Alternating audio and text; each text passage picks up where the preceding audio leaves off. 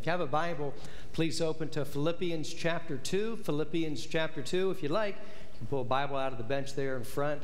You might even find one on your phone. But Philippians chapter 2 today, the message is entitled Choosing Joy. This is part 2. No matter what is going on in your life, you can choose joy. If you have the sermon notes there, you can see that joy is a fruit of the Spirit. When you become a Christian, God's Spirit lives inside of you, and one of the fruits that He brings is joy. Joy is dependent upon Christ, it's not dependent upon your circumstances. And joy is your choice. And this is what we learn from the Apostle Paul in this chapter.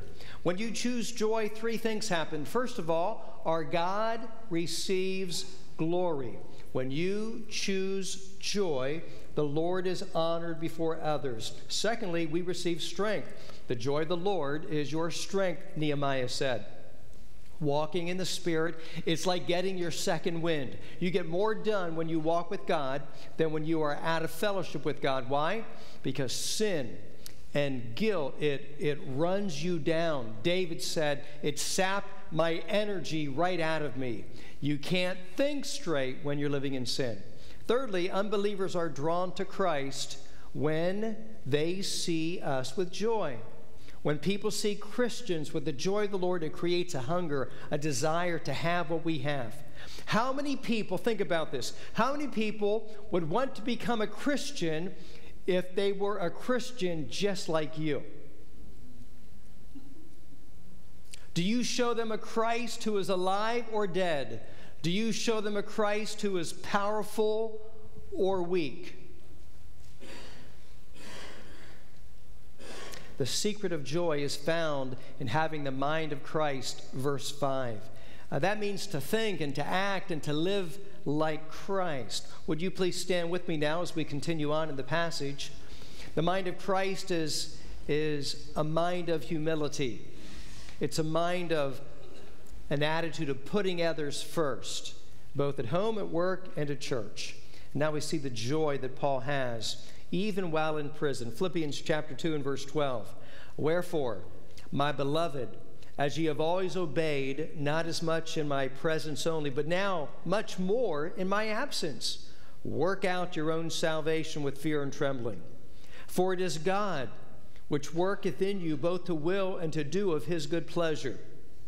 Do all things without murmurings and disputings, that ye may be blameless and harmless the sons of God, the children of God, without rebuke in the midst of a crooked and perverse nation, among whom ye shine as lights in the world, holding forth the word of life, that I may rejoice in the day of Christ, that I have not run in vain, neither labored in vain. Yea, and if I be offered upon the sacrifice and service of your faith, I joy and rejoice with you all. For the same cause also do ye joy and rejoice with me. May we pray. Father, thank you. Thank you for the Word of God. Thank you for the instruction we have on how to have your joy in our lives and before others. If there be one that knows not Christ, God, may you touch them, draw them, convict them, and may they receive salvation. For those who have lost their joy, today restoring to them the joy of your salvation. In Jesus' name I pray. Amen. Thank you. You may be seated. I have a quote there in the notes I'd like you to take a look at by Dr. Kenneth Keniston. He was an MIT professor. If you live in a society where you believe the public institutions like government are deeply flawed and not easily improved, that leaves the pursuit of individual happiness as the main goal to your energies from the mind of an unsaved man. Today, many are chasing the fantasy of personal happiness apart from a growing spiritual relationship with Jesus Christ, only to become, well, to become disillusioned by the dissatisfaction they experience. This deep dissatisfaction leads to a loss of joy. It leads to an overall attitude of complaining. Enter the Apostle Paul. And so, if you see with, look with me on page two of your notes uh, by way of quick review here how to choose joy in your life. And number one, Paul says, choose to obey God's word. I mean, it's a choice. You either obey or you disobey. Wherefore, uh, my beloved Philippians, as ye have always obeyed, not in my presence only, but now much more in my absence. I was with you, you obeyed. Now I'm gone. I want you to obey more. Jesus said, Blessed are they that hear the word of God and keep it. I shared with you a poll last week who the happiest people alive are. The people with the greatest degree of joy, the greatest degree of satisfaction, of contentment in life are people of faith. Survey after survey, year after year, not just any faith, but the Christian faith. People who worship weekly, people who participate in their local church have greater joy than others. Number two, choose to walk close to God. Paul says, Work out your salvation with fear and trembling. It is God which worketh in you, both to do and to will of his good pleasure. Notice he said, Work out your salvation. He did not say work for your salvation. You cannot get to heaven by doing good works, sacraments, baptism. Uh, you can't get to heaven by joining a church or getting baptized. That doesn't wash away your sins. So, what does it mean to, to work out your salvation rather than work for your salvation? Well, the word uh, was used uh, uh in, in Greek literature. Uh, a Roman, a Roman historian, Strabo, used it to describe the, the Romans in Spain working in the silver mines. And what they did is, you see, God deposited the silver in the mountains, uh, but the men had to dig the tunnels. They had to mine out the silver to get it out. It took a lot of hard work to get it out. God has deposited his salvation in your hearts once you were born again. It is our responsibility to mine out of our life that which God has put into us. And so your words, your actions, your attitudes, it takes work to bring out, work out your salvation. And so Paul uses the, the terms of I'm pressing for, I'm disciplined, I keep my body under subjection. He says we don't work for salvation, but once we become Christians, we're to work hard. We're to work hard. And so he talks about a, a soldier who fights hard. He talks about a runner who runs hard in a marathon race. He talks about a boxer who, who boxes hard. And so we, we are to work once we become Christians. Give maximum effort. Verse 13, but it's God's power that's in us. God lives inside of us. God places desires in our hearts uh, to do what He wants us to do. Did you ever get an impulse? I mean, to do something good? an impulse to do something good. Maybe it's to, to give someone a compliment. Maybe it's to uh, lend a helping hand. Maybe it's to volunteer to serve. Maybe it's to give an offering. We had a big offering coming up the end of, uh, of July, and you say, you know, where does that impulse come from? It comes from God. It's God that's working in you. That's a pretty amazing thought that God is inside of me. And these impulses to do good are from God. We compared last week the quietist and the pietist. The quietist says, do nothing. The pietist says, do everything. God says, you do everything, and I'll do everything. And together, you'll become Christ like, and you'll have great joy. Of all the people on the earth, we are uniquely blessed that the God of heaven is in us and working on us. He works in us, we work out our salvation. God works in us some more, and we work out our salvation. How to choose joy in your life. Uh, number three is choose to stop complaining. Verse 14 do all things without murmurings and disputings. Now, what are the typical things that people complain about? What comes to your mind? One, your notes, life's hardships, things that cause us discomfort and worry and pain, people that disagree with us uh, that, that's uh, something to complain about. How about, how about when we feel that our rights are violated? Uh, most people tend to complain about trivial things, don't we? About other drivers? They drive too fast. No, no, no, they drive too slow. Uh, they're cutting in and out in front of us. And when we do that, then it's just because we're in a hurry, we need to get there. Uh, what irritates you? Is it, is it the long lines? Is it the short lines? Is it any line having one person in front of you that bother you? Crying babies. You ever have a crying baby in church? I mean, 300 people can hear it, but the mom can't? Do you know that in our country, every year, 1,000 infants, 1,000 infants will be injured or killed because of shaken baby syndrome? And the number one trigger is a crying baby. Some complain that their food is too cold, forgetting that 9 million people will die this year from starvation and malnutrition. Many complain about a midlife crisis, but forget that there are some parts of the world, because of disease, because of war, men die young, sparing them the stress of a 50th birthday party. We complain. How many Americans complain about their homes? They want a, a, a new this or a new that, and yet millions around the world, they live on pavements. They live in shanty towns. They live in slums in Africa, South America, and India. You might have a problem of legitimate concern if you lived in Nagasaki or Hiroshima in 1945 because in a matter of seconds, 100,000 people died, ending the deadliest war in human history, a war that took over 70 million lives. But you don't live at that time and you don't live in that place. You live here, you live now in America, safe America.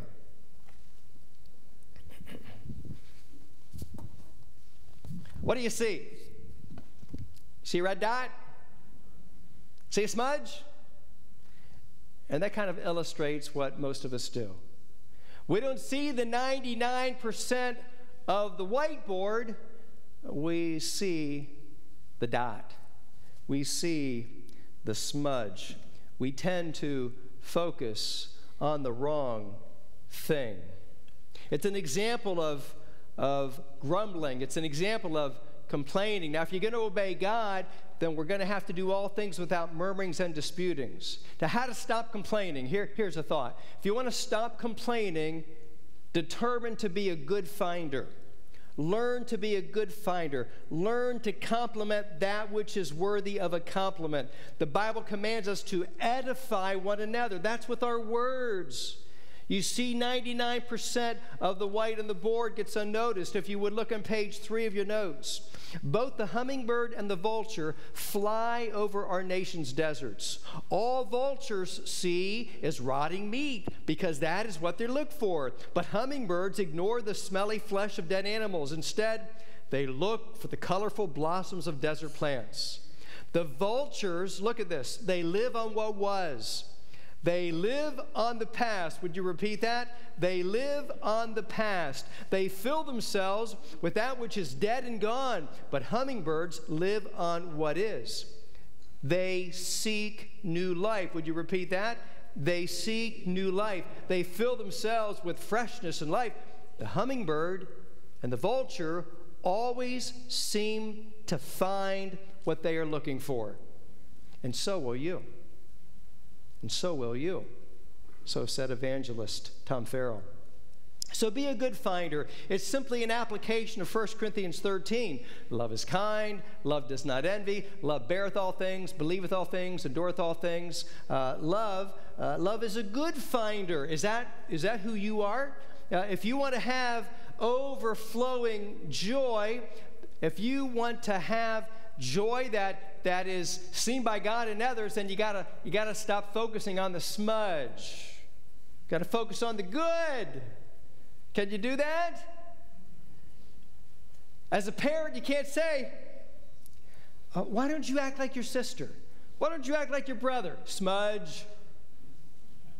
Uh, you can't say to the coworker, if you would just stop that, we'd all get along around here. Smudge. You can't say to your spouse, you never, you always, smudge. You can't say to your friend, well, you know, I just always speak my mind and you, I just tell it like it is, smudge. You can't say to your fellow worshiper, ah, sermon's too long, sermon's too short. I never did like that choir song. That soloist slid into that third, 16th note like a runner going into third base. Right? Smudge! What are you looking at? What are you focusing on? Can you be a good finder because God tells you to? Have you met people who think they have the spiritual gift of criticism? Become a pastor and you'll meet them. I mean, just, just draw to you. You know that, that criticism is not a spiritual gift, it's a character flaw from a prideful heart. We're to live a life without complaint. We're to be rejoicing always. Chapter 4, verse 4. In fact, he's going to name two ladies who he tells they got to start getting along. Ultimately, our complaining is about God. How to choose joy. Let's move on. Shine your light, do right. Shine your light, do right. Verse 15, look what he says that ye, ye Christians in Philippi and at Valley Forge, that ye may be blameless and harmless, the sons of God without rebuke in the midst of a crooked and perverse nation, among whom ye shine as lights in the world. Uh, Bob Jones was born in 1883. Now, that's not the Bob Jones that comes to our church, right? That's a different Bob Jones. He was born in 1883 and began preaching at the age of 12. By the time he was 40, he preached to 15 million people face to face. God used him greatly. He began a university. His most famous sermon was Do Right. He preached, Do right till till the stars fall. Here Paul says the same thing. He says, Do right. As Christians, we're, we're growing to become blameless. Now, we're not that way, but God is changing us to become blameless. That means purity of life that cannot be criticized. Harmless, uh, that means innocent and uncontaminated. Without rebuke, that means without fault. It describes a sacrificial lamb, a lamb without spot or blemish. Now, it's three ways to say the same thing God is my father, and I am his child. Uh, many parents and many kids have a family resemblance, don't they? I mean, you look at this and say, yeah, they belong together. Uh, we are to say, I'm born of God. God's DNA is now a part of me, it's in my soul. And the older I get, the more I look and act like my Heavenly Father. I'm growing up. Be ye holy, for I am holy, God says. 1 Peter 1:15. God the Father doesn't complain, neither should we. Be who you are in Christ. Let others see on the outside what you really are in the inside. It's good. Notice what also he says. He calls us lights. He says, We are lights, ye shine as lights in the world. Christian, we are to shine like the sun, moon, and stars. Christian, we are to shine like stars surrounded by a, a sky of darkness. We teach our children that little song. How's it go? This little light of mine, I'm going to let it shine. Jesus said, You're light of the world. Jesus said, Let your light so shine before men that they may see what? Your good works. So, so now we know what light is. Light is good works, it's doing the right thing. Many unbelievers, uh, when they come to this place, may they sense the love that we have for Christ, the love that we have for each other. But it won't always be easy. Why? Look what verse 15 says because we live in the midst of a crooked and perverse nation. Right now, right now, today, more so than ever in the history of our country, people call evil good. People call good evil. I'm going to give you an illustration of this. Crooked is the word for scoliosis, it is the curvature of the spine. It's this, it describes something that's messed up, something that's not right something that's broken. But look what he says. Look what he says in verse 15. In the midst of a crooked and perverse nation. I know, I know you don't like hearing this word, but it's in the Bible. This is what God wrote perverse nation. It intensifies the meaning. It refers to someone who has strayed far off the path. I mean, they're, they're lost in the wilderness. Their departure from the normal, it's twisted. It's distorted. Jesus used the word himself in Luke 9:41. He said, "Oh, faithless and perverse generation. It's twisted. It's out of sorts. It's not normal." Do we live in a perverse nation? Right now, the most obvious example are the transgenders going after the children of America using library reading events. You do the internet search, transgenders reading in library, this is what you see. That's what you see. Don't hate this man. Don't hate this man. Feel sorry for him. Pray for him. This man is deceived. This man is a deceiver. He actually thinks he's doing a good thing. Look at the little kids in front of him. He thinks he's doing a good thing. He is sincere, but the Bible says he is sincerely wrong. He is sincerely wrong. And this is happening all across America. Brainwashing of our children. You know what happened in Lansdale this year? I'm not talking about California and Washington, D.C., I'm talking about right here this year, Lansdale. What about the parents who would take their children? You think that would scare them? Parents who would take their children to listen to this man read twisted books. They're blind to God, they're blind to common decency. They are, as Paul said, crooked. They are, as Jesus said, perverse. And the only thing that will help them is Jesus Christ. Now, what I have just said to you, understand, what I've just said to you is not hate speech. It is not hate speech. What I've just said to you is the truth. I am not transphobic, all right? I'm not transphobic. We've had transgenders attend our church. They are welcome here. They're welcome here. But the only thing that can help them is Jesus Christ. Amen. The only thing that can forgive their sin and my sin and your sin is Jesus Christ. And so we need to pray for this man and other people that are just like him. In the military, they want to use our tax dollars to pay for their elective surgeries. And I say, based on the Word of God, that's wrong. You join the military to defend our country. We find that in the Bible. It's in Romans chapter 13. They're to punish the wicked and protect the innocent. Defending the country is the priority of a government's military, not personal elective surgeries. Does that make sense? Who joins the army and demands plastic surgery on their face? Oh, I joined the army. I want a nose job. Oh, I want liposuction. Oh, I want a tummy tuck. Oh, I want a trans surgery. They need Jesus Christ. Look with me on page four. Put your faith in Christ. There's only one thing that can help these people. There's only one thing that can help everyone coming to Jesus Christ. And so we are called to share the gospel with them. We are all sinners. We're all sinners. We're all on the broad road that leads to hell. Jesus died for all of us, not just the elect. He died for all and rose again. And anyone can believe on Christ and receive him as their Lord and Savior. Yes, ours is a crooked generation. Ours is a perverse nation. We dwell in a wicked land where godless men like a Howard Stern can make profit on being perverse. In contrast, Paul says, There's the darkness, but we are light. We're the children of God shining God's light. That's how we live. Holding forth the word of life. That's what we say. Look with me in your notes. If you want God to use you to be a witness for Him, you need both. We need, we need to live right, but we need to speak right. We impact people by who we are and by what we say. May I say that every day you are influencing others. Every day, right now, today, you influence others by how you live, and by what you say. You're doing it for good or bad, God or Satan.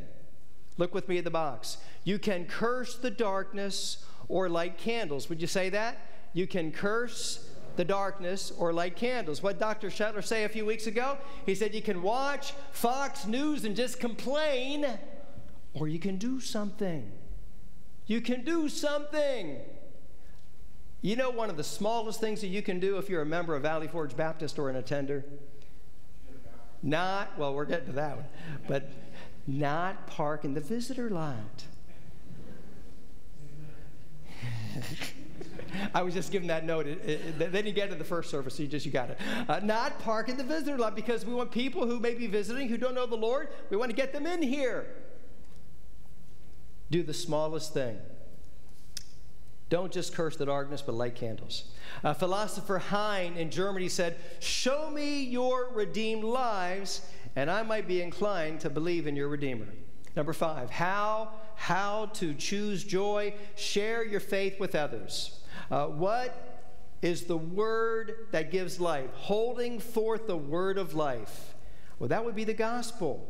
Jesus saves. Paul says, Stop complaining and share the gospel. Why? Because in the day of Christ, when I get to heaven, I will have greater rejoicing. Paul says, Do it for God, do it for Christ. And he says, Do it for me, do it for your pastor. Four years ago, Herb Holzendorf and his son and daughter, daughter in law, they were at a nice restaurant eh, around Christmas in San Antonio, Texas. And they began talking to a couple nearby, and they met Antonio and Sonia. And Herb shared his testimony, he shared Christ, and uh, the man actually bought his meal. Herb said, if, Hey, if you're ever near us, stop in and see me. And they exchanged cards. Hasn't heard from him for four years.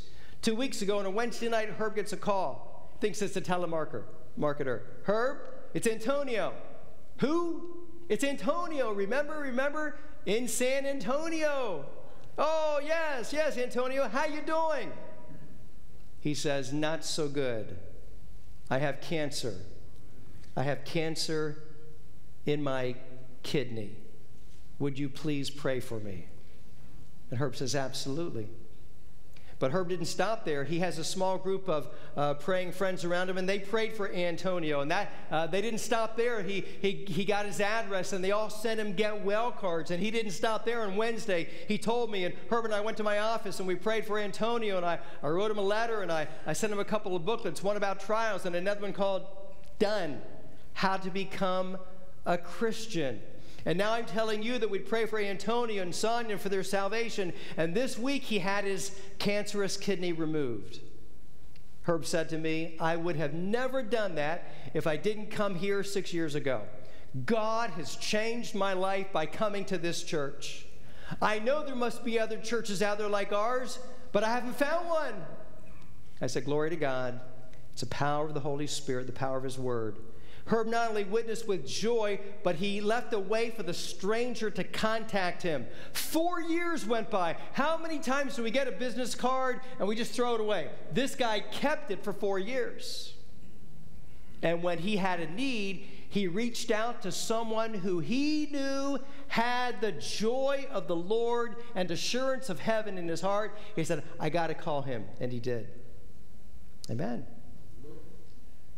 Paul says you can choose joy. How?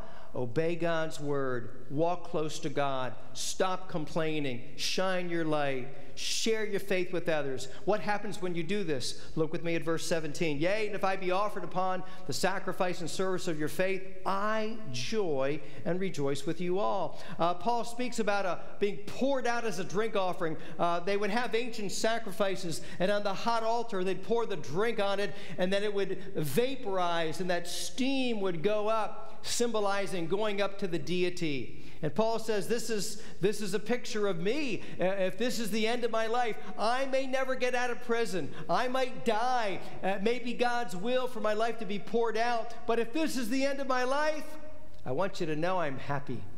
I'm rejoicing that I spent my days serving you, sharing the gospel. And while thinking this, that this could be his final the single most serious thought a person could have, he's still able to rejoice. He refused to let the possibility of his death steal his joy. In fact, he urged his friends to rejoice with him. Look at verse 18. For the same cause also do ye joy. I might die, but I want you to joy, I want you to rejoice with me. I mean, here is a seasoned and scarred missionary, yet all the while he has this keen sense of humor, and he's not going to lose it. Have you ever met some great saints like that? No matter how difficult life gets, they just keep their sense of humor. Paul, Paul was not super serious all the time. Paul wanted to make his Philippians friends smile. He wanted them to have joy in their heart. Can you find at least one thing to laugh about every day? Uh, okay, then look in the mirror. Might help you out. Can you laugh at least one time a day? Experts tell us that laughter helps control pain in at least three ways in your notes by distracting our attention, by reducing the tension we are living with, and by increasing the production of endorphins, the body's natural painkillers. Laughter, strange as it may seem, turns our minds from the seriousness and the pain and creates a degree of anesthesia. That's how God made us. God made us to laugh. Laughter gives a brief excursion away from the pain. Choose joy. The Bible says that Jesus took his disciples and they went apart for a while. Do you think Jesus ever laughed with his disciples? I do. It's not recorded, but I'm sure he did. If you go to Sight and Sound, you'll see him laugh there. He laughed. It's okay to take a day off. It's okay to enjoy life. It's okay to get a bowl of popcorn, a bowl of ice cream. It's okay. Take a vacation. Enjoy this gift of life that God has given to you. In your notes, yesterday is history, tomorrow's a mystery, today is a gift. That's why it's called the present. God's gift to you is today. His greatest gift is the gift of salvation. Christian, let's serve Jesus Christ, and like Paul, let's enjoy the journey with great joy.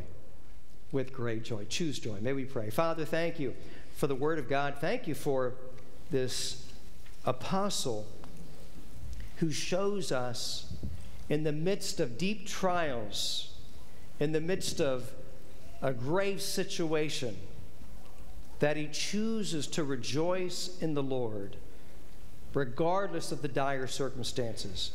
May we learn from him, and may you do the spiritual surgery and adjust our attitude.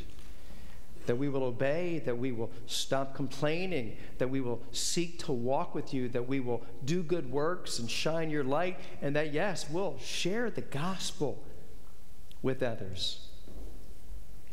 Heads bowed, eyes are closed. You'd say, Pastor, if I died today, I know I would go to heaven because there was a time in my life that I made a commitment to become a true Christian, a follower of Christ. What that means is that means that you believe that, that Jesus died for you and rose again, and you're trusting in only Him to forgive your sins. You may not remember the date, but you remember the time you called upon the Lord.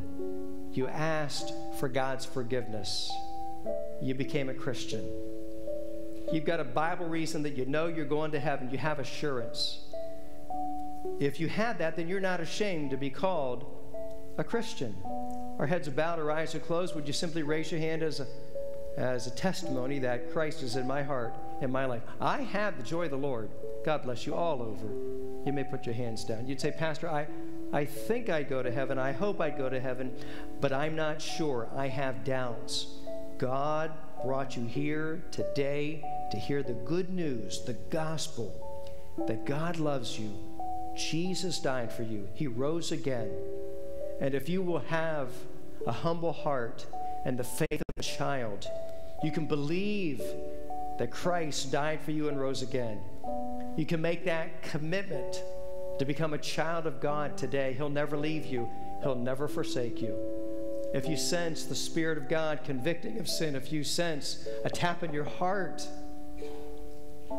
that's the Holy Spirit. Say yes. Say yes to God. and would you pray with me now? Right where you're seated. From your heart, God will hear the prayer of your heart. Pray with me now. Dear Lord, I know that I'm a sinner. I ask you to forgive me of all of my sin. I believe Jesus died for me and rose again. Please, please come into my heart, become my Lord and Savior today. Now, if you've just done that, welcome to the family of God. I want to pray for you. It's not about joining the church or getting baptized, it's about a a personal relationship with the God who made you and the God who loves you. I want to pray for you today. Would you simply raise your hand? That's me, Pastor. I just pray with you from my heart, and I meant it to receive Christ as my Savior. Anyone at all, just hold your hand up for a moment. Hold it up for a moment. I receive the Lord as my Savior. God bless you. Anyone else? Anyone else? Father, thank you. Thank you for the power of your word. Now I pray for those Christians who may have lost the joy of their salvation. God, I pray that you would restore it to them and their focus will be upon Christ and that they might be used by you to share your love, your care, and your salvation with others. May you bless in this invitation hymn. In Jesus' name I pray. Amen. As we stand together, we're going to sing a song of invitation today. In my life, be glorified. And maybe you want to pray in your seat. Maybe you want to pray at the altar. If you want to speak to a pastor, a pastor's wife, it is a it's a public invitation. You can step right out. You come as we sing together. In my life, be glorified.